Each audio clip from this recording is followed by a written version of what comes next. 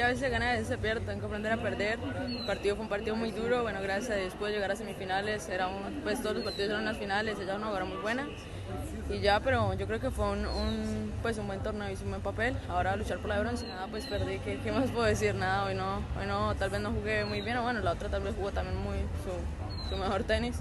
Eh, ya, simplemente eso. Yo hice lo mejor que pude, y, pero no se me dieron las cosas. Sí, quedan los mixtos, vamos por la con, con Nico y, y, ya. Igual pues hay que disfrutarlo. Obviamente estoy triste porque perdí, pero, pero soy muy bendecida ¿no? por el hecho de estar acá, por el hecho de representar a mi país y, y nada, ahora voy con todo lo, bueno, ahora los dobles femeninos por el bronce y, y también los dobles mixtos con Nico.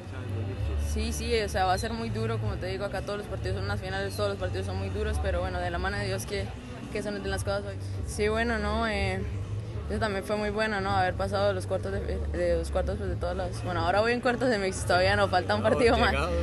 Sí, pero no, eh, pues no muy bueno, o sea, yo he trabajado para esto, eh, me he esforzado mucho y todo lo que he hecho es para poder siempre, bueno, representar de la mejor manera a mi país y tener buenos resultados también a nivel mundial. O sea, ya, ya Colombia ya tiene, pues ya se escucha por todos lados y, y eso es lo importante.